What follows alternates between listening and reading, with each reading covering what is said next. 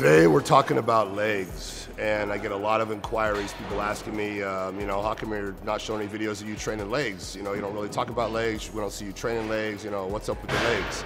So uh, I'm here today to do a little legs. uh, but the truth of the matter is, because I'm an honest guy, and you know, I tell straight up, is I don't really train legs, and you know, I do here and there, but I'm not a bodybuilder anymore, and I'm not trying to have you know 34 inch quads anymore. It's uh, not practical for me.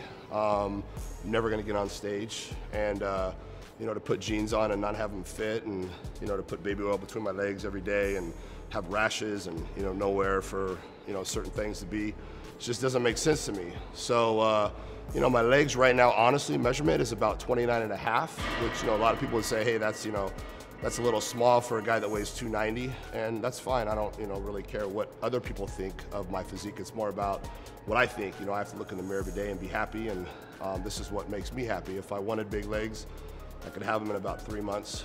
Um, if people look back at my pictures you know they'll see that was my strong point back in my competitive days. I've always had larger legs than upper body. So in my head all the years of competing i always had to bring my upper body up to match my legs so still psychologically, I feel like my upper body is not quite what it needs to be.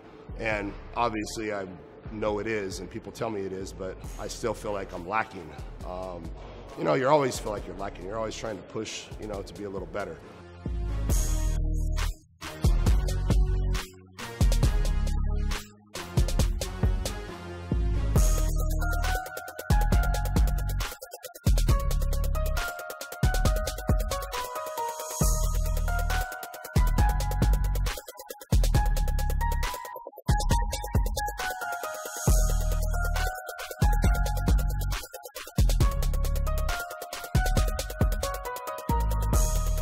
And as far as leg tips, um, for me, uh, squats is a number one. Nothing beats squats. You know, the hardest exercise there is, the hardest one to do is always going to be the best. The one you hate the most is the one that's the best. The exercise you hate doing is the one you should be doing every day, every workout. And uh, squats. Uh, um, the biggest mistake I see people make is not going full range of motion. I always talk about full range of motion, and full range of motion is it's simple. It's basically full range of motion. As far down as you can go is full range of motion, and you're capable of bringing your glutes all the way down, touching your ankles, and that's full range of motion.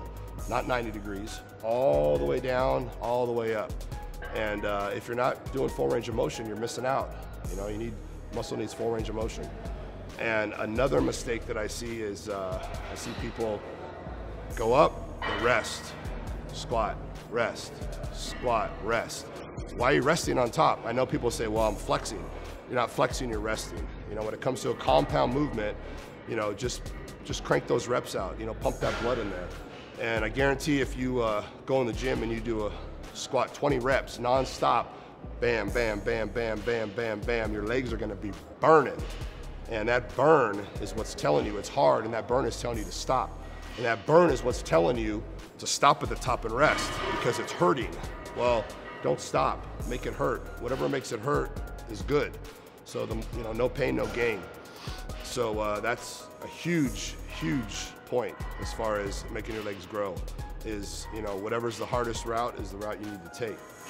And uh, as far as another point that I need to make,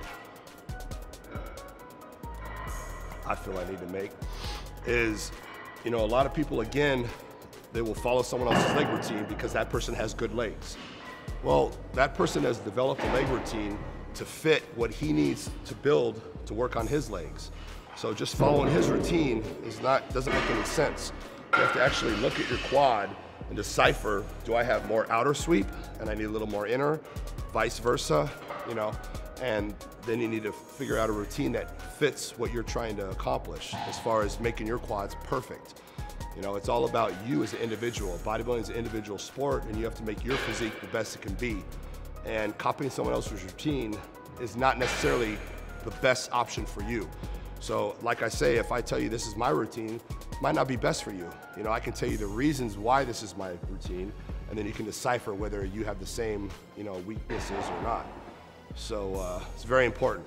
You know, is uh, figuring out your routine is basically based on your development.